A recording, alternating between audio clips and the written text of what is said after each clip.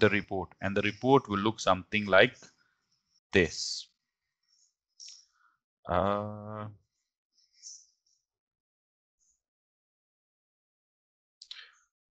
okay, this is actually a roster report that I'm going to show you now. Wow, I have applied much bigger filter. Okay, so if you guys see this, the name assigned to title, that is the first thing on the top, outlet, then start date, start time, end date, end time, shift name if there was any shift name, and then location, it will show you the address if it's an outside job, duration, tags, remarks. You should be able to understand all these things.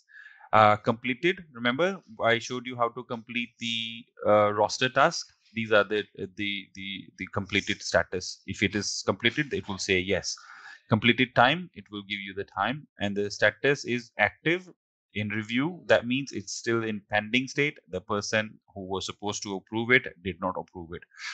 For how many days created by approved by incentive items and in total incentive value? So this is the roster report